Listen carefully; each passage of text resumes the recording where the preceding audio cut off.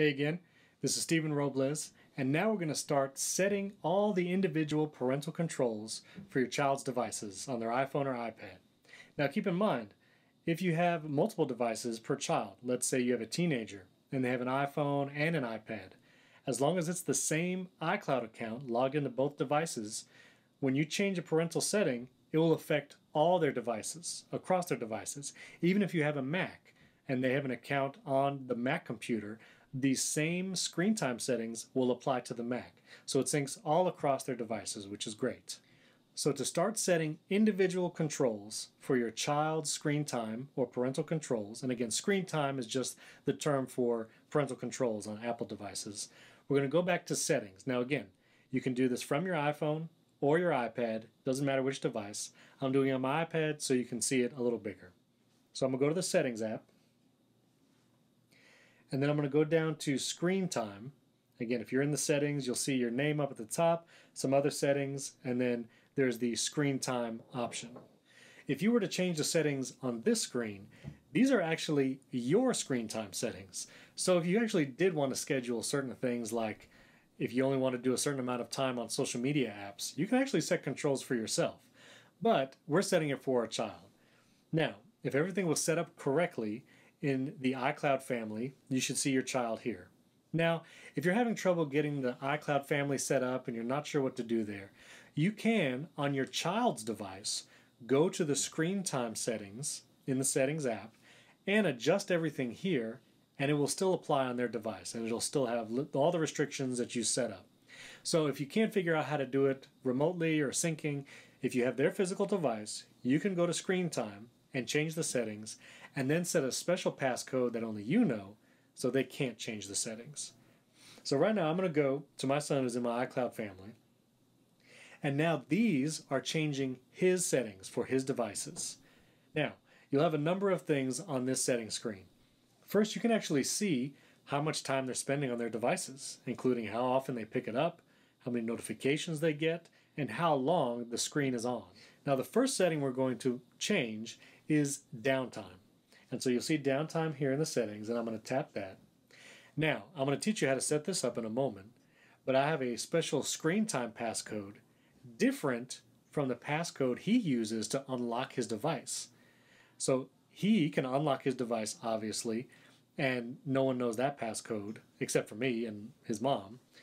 But you can then put a special screen time passcode that's different so if he were to ever try to change the settings, he doesn't have this passcode. This is different than the one used to unlock the device. So I'm going to put in the screen time passcode that I've set just for parental controls. Now I'm going to enable downtime. So if you don't have it on, you can swipe that toggle to the right and that will enable downtime. Then you can do the same time every day or customize per day. And I'll explain what downtime means. You're setting a time of day probably sometime in the evening. So let me explain what this does. When downtime starts on your child's device, she or he will not have access to any apps except the ones that you approve during downtime. For instance, if you don't want him to be able to access YouTube from this time to this time, then you can set that. Now, this is different than a time limit on an app where you only want him to access two hours of YouTube and no more and we'll learn how to change that in a minute. But this sets a specific time of day where the device basically shuts down except for the apps that you choose. Now, I have the same time set every day, but you can do it differently on customized days. So for school nights, you can start downtime at 9 p.m. or 8 p.m., whenever you'd like. But on the weekends, you can have it start later, like 10 p.m. or 11 p.m. I have it on the same time every day because I set time limits for certain apps, and we'll get to that in the next video. But then you choose the time. So I have it from 11 p.m. to 9 a.m. That means from 11 p.m. to 9 a.m. every day, he only has access to certain apps like messages, phone, maybe FaceTime. And those are the only apps that are active. And if he wants to use an app other than those that I've said are always allowed, he has to send a request, which will come to my phone or my watch, or he just doesn't have access to it. The whole app will just be down. So you set that, and then the bottom is block at downtime. that last toggle means the apps are then blocked during those times. So as you'll see here, I have it set for every day from 11 p.m. to 9 a.m.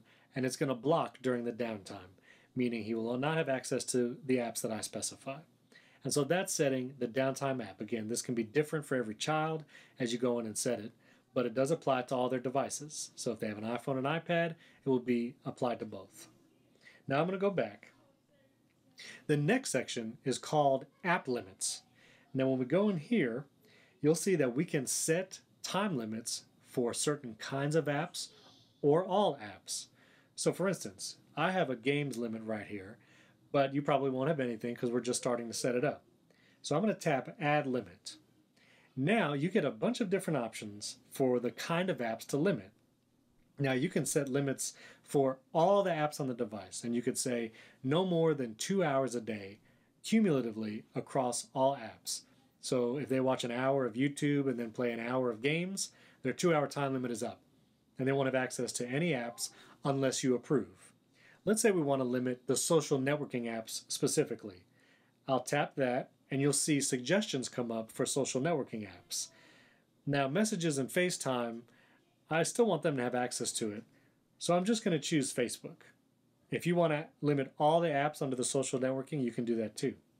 Once I've selected the app, I'll hit next, and now I can set the limit for every day.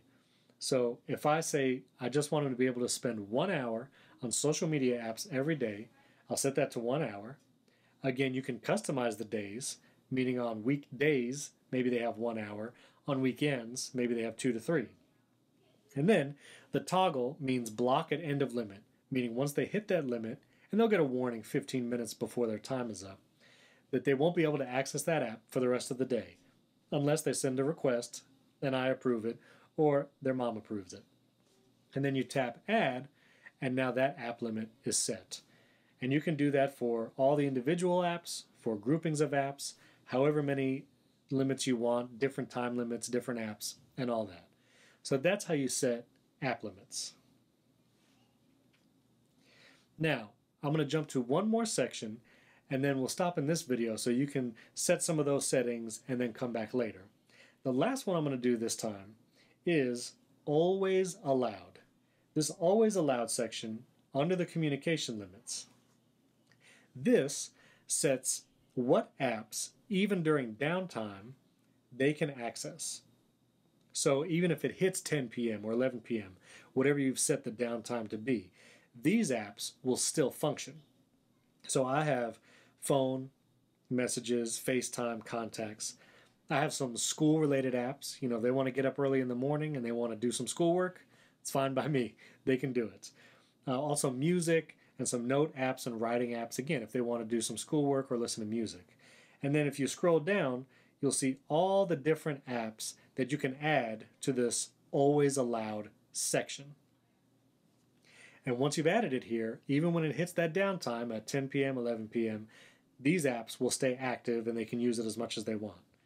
The last part in the always allowed section are contacts. What this means is once they hit that downtime limit, you can say you can't contact anyone else at this point except for these few people, or you can only contact people in the Contacts app.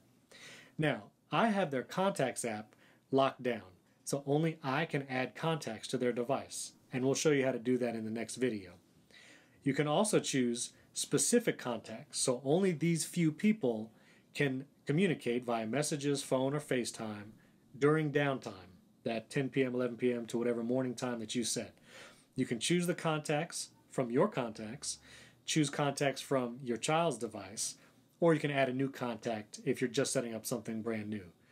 So, once it hits downtime, they can only contact and communicate with the people that you designate in these settings. So, that's setting downtime, app limits, and always allowed.